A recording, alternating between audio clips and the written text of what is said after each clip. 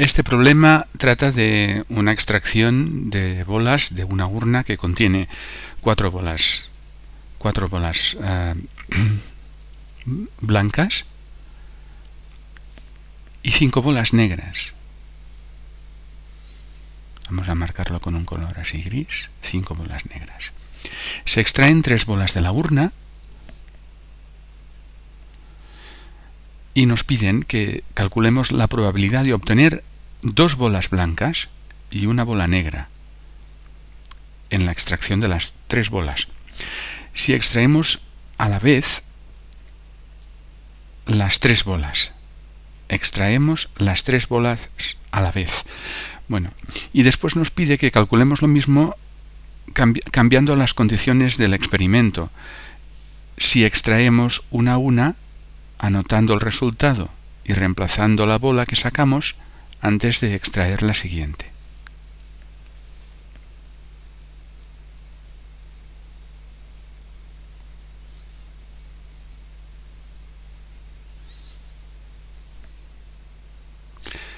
Bien, vamos, a vamos primero a resolver el, el, primer apartado, extraer dos bolas blancas y probabilidad de extraer dos bolas blancas y una negra si extraemos las tres a la vez. Vamos a llamar a al suceso extraer dos bolas blancas y una negra.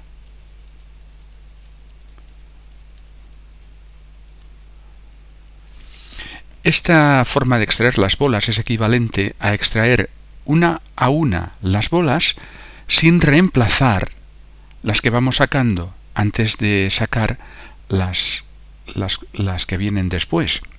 Hasta así, hasta llegar a sacar tres bolas en total. Eso es muy importante que lo entendamos porque eh, cambia, es, es la clave para responder a la pregunta A y la clave para responder a la pregunta B, que donde esto no lo hacemos así, sino que vamos restituyendo las bolas a la urna. Bien,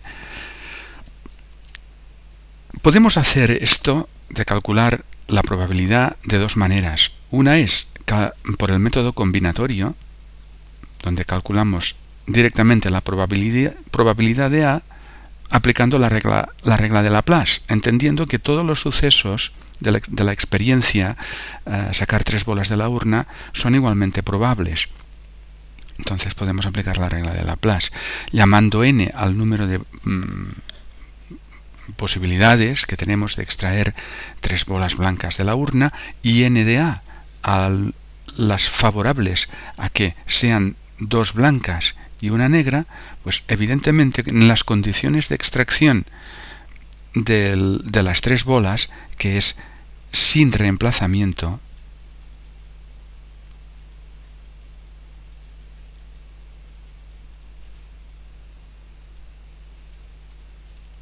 las tres a la vez. Es equivalente. Pues es un problema el que tenemos de calcular n y n de a de voy a hacerlo mm, voy a hacerlo aquí Calcular las combinaciones de cuántas bolas en total. Son nueve bolas en total. De nueve tomadas de tres en tres. Estos son los casos posibles.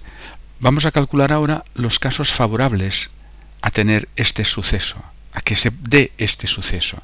Bien, eh, cuando tenemos extracciones sin reemplazamiento, eh, se, va configurando lo que llamamos modelo hipergeométrico de la probabilidad. Podemos elegir las cuatro bolas, las, dos bolas blancas entre las cuatro que tenemos blancas en total. Por lo tanto, tenemos cuatro sobre dos posibilidades de hacerlo. Y fijadas estas, este número de constituir la pareja de bolas blancas, podemos a elegir las cinco bolas negras de una en una y de este número de maneras, es decir, de cinco maneras, cinco sobre uno. Y ahí, ahí tenemos la probabilidad. Si ahora calculamos con ayuda de la calculadora 4 eh, sobre 2 multiplicado por 5, esto es 30. El numerador nos da 30. Y el denominador son 9 sobre 3, estoy utilizando la calculadora, son 30, 84 avos. Y si lo simplificamos, nos da 5 partido por 14. Bueno, este es el resultado al primer apartado. Vamos a resolver el segundo apartado. En este caso, cambia sustancialmente el problema, porque aunque esto es lo mismo, número de casos favorables partido por números de casos número de casos favorables partido por número total de casos eh, o número de casos posibles, ahora reemplazamos con reemplazamiento las bolas que vamos extrayendo.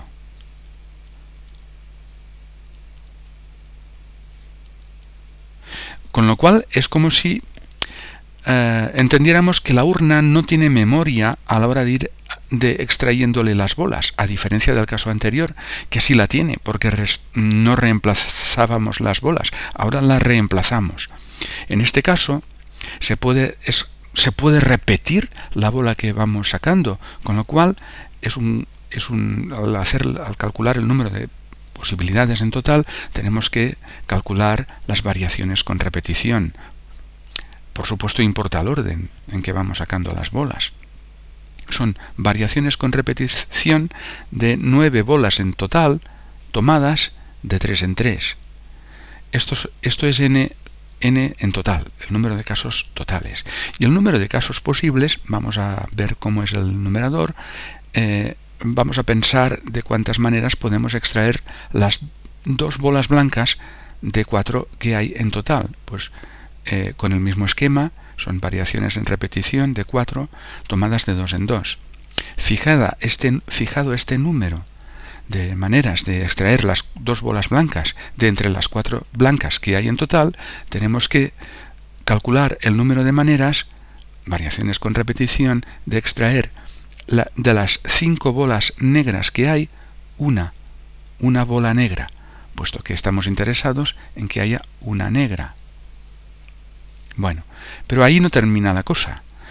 Y es que eh, tenemos que multiplicar, fijados estos dos números de posibilidades, tenemos que multiplicar por el número de posibilidades que tenemos de reordenar estos dos grupos de bolas.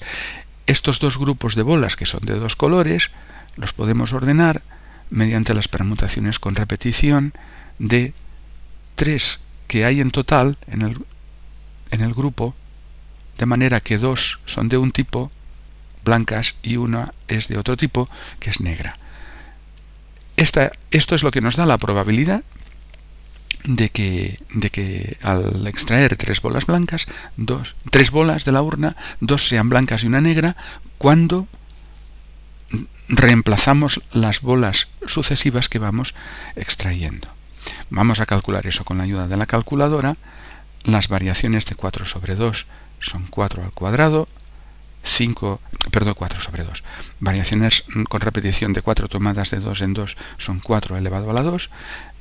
5 tomados de 1 en 1 son 5 a la 1, que es 5. Y las permutaciones con repetición de 3 bolas donde dos exactamente en todos los casos son de un tipo y una de otra, son 3 factorial partido por 2 factorial y por 1 factorial. Y en el denominador, pues tenemos 9 elevado a 3. Variaciones con repetición de 9 elevado a 3.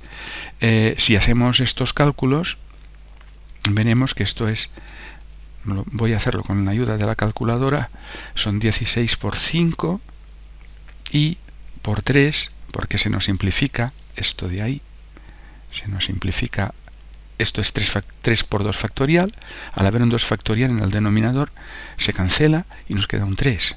O sea que son 16 por 5 por 3 y dividido, bueno, nos queda, voy a apuntar al que lo que me da paso a paso, 240 partido por 9 elevado a 3, que son 729, leo en la calculadora. Y cuando simplificamos,